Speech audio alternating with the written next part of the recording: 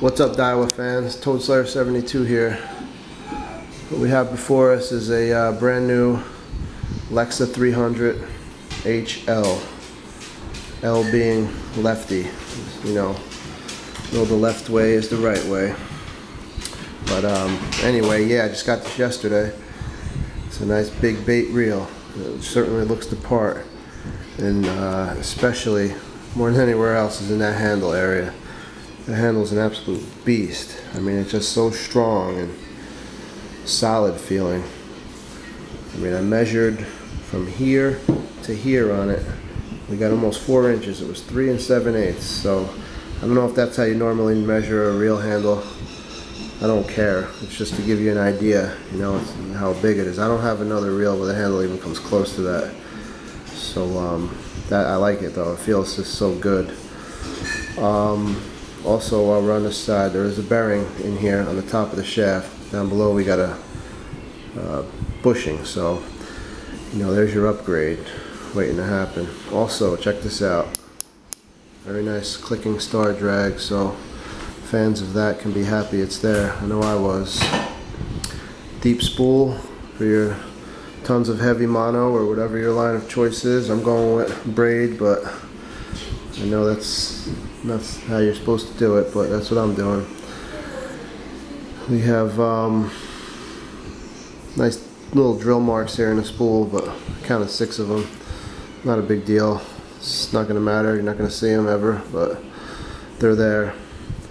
But it's a nice, smooth, basic looking reel, low profile. It just looks good. Looks like a Daiwa, you know. I'm hoping it fishes like a Daiwa. I'm sure it will. But um, just to give you an idea, I have a 103 HL Steez here. That's the original Japanese version. I got that back in 06. I know there's been a few iterations, but it's the only one I ever got. That's just a little comparison just to show you the size here. It's the only way, the only reason to have the Steez here is to show you the size. Look at the handle. Boom. This just sucker is just big.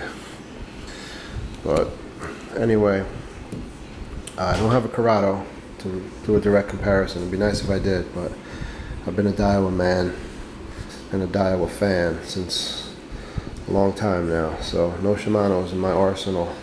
Nothing against Shimano though. I've always just preferred the, the look of the Daiwas, but I'll probably end up with that new Calcutta eventually because I'm all about the big baits now and I know that's the cream of the crop there.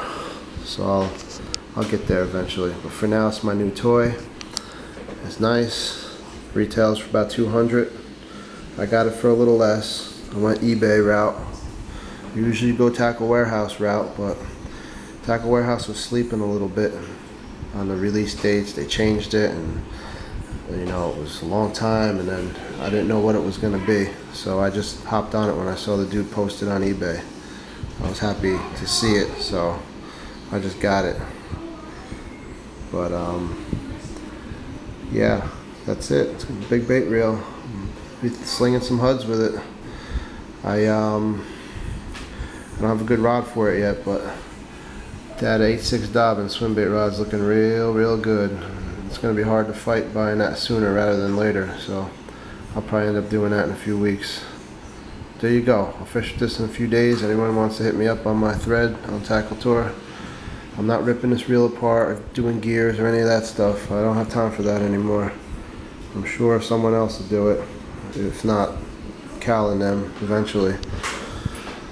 There it is. Lexa. It's nice. Anybody on the fence or anybody thinking about this big bait reel, I think it's going to be good. I wish I had a lower gear ratio one, but for now I'll take this, you know. I'm happy to have it. All right. Take care.